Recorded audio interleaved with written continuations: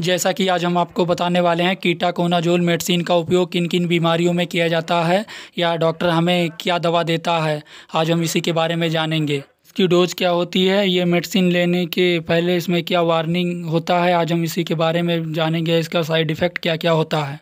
इसकी पूरा डिटेल आज हम आपको हिंदी में बताएँगे। चलिए जान लेते हैं, ये हमको किस किस फार्म में, मार्केट में मिलेगा। और कीटाकोनाजोल की क्रीम आती है टू परसेंट में। कीटोकोनाजोल का शैम्पू आता है कीटोकोनाजोल का साबुन भी आता है। कि ये हमको टेबलेट फार्म में भी मिल जाएगा कीटाकोनाजोल का दो सौ एम का टेबलेट फार्म में आता है और कीटाकोनाजोल का साबुन आता है।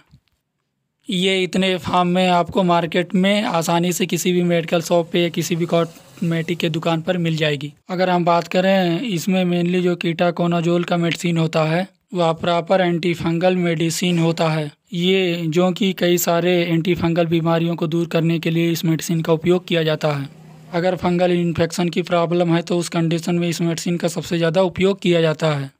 अब हम ये जान लेते हैं इस मेडिसिन का जो मेनली यूज़ करने का तरीका है। जैसे कि कई एंटी फंगल बीमारियाँ, पहला है टाइनिया ये रिंगवार उपचार की बीमारियाँ होती हैं। दूसरा है आउटर स्किन पे आउटर पे जो सरफेस होते हैं उसमें छोटे छोटे दाने से पड़ जाते हैं। और डेंड्रफ, जैसा कि बालों में रूसी पड़ जाना। इन सब के उपचार में काफ़ी ज़्यादा यूज़ किया जाता है, जो आप देख रहे हैं चार्ट में।